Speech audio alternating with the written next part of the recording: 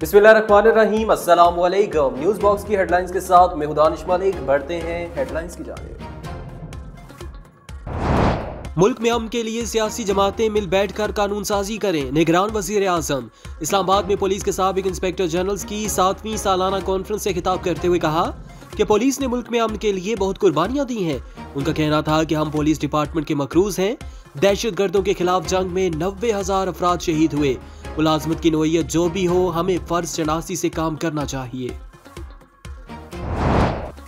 बल्ले के निशान के बगैर इलेक्शन हुए तो मजीद कशीदगी फैलेगी। तहरीक इंसाफ। पाकिस्तान तहरीक इंसाफ के तर्जमान ने कहा कि मुल्क की मकबूल तरीन सियासी जमात और वोट देने की अहल आबादी के तीन चौथाई से ज़्यादा हिस्से की, ताईद की हामिल जमात को टेक्निकल नाकआउट जैसी मकरू साजिश का निशाना बनाया जा रहा है।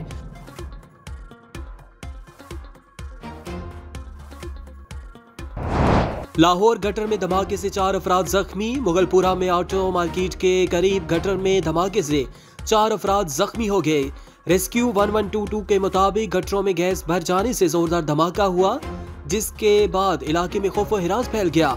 जख्मियों में आसिफ, बिलाल बिलाल अकरम और अली शामिल हैं, जिन्हें तिब्बी इमदाद के लिए अस्पताल मुंतकिल कर दिया गया। इटली का जाली वीज़ा बैरून मुल्क से आने वाला मुसाफिर कराची एयरपोर्ट पर गिरफ़्तार। तर्जमान एफ़ आई ए के मुताबिक गिरफ़्तार मुलजिम नईम अख्तर का ताल्लुक हाफिजाबाद से है।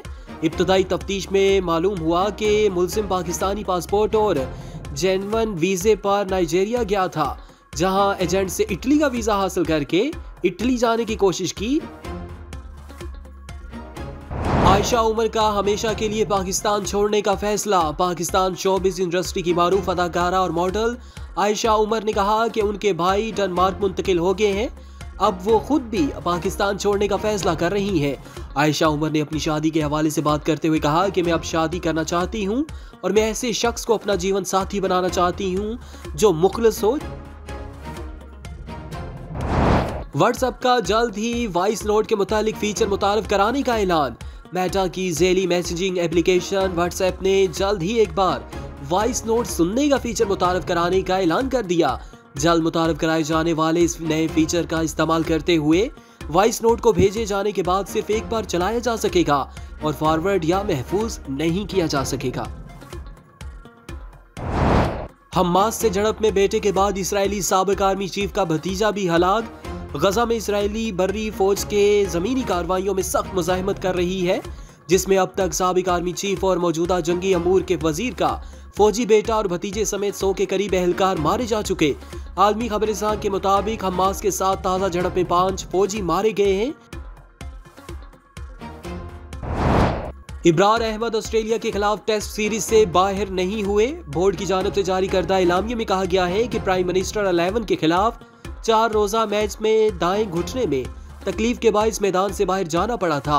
मेडिकल टीम ने स्पिनर का मुआयना किया, बाद उनका एमआरआई स्कैन कराया गया था। हेडलाइंस आपने जानी, अब तक लिए इतना ही। न्यूज़ बॉक्स से मुझे दानिश मलिक को दीजिए इजाज़त। अल्लाह हाफिज।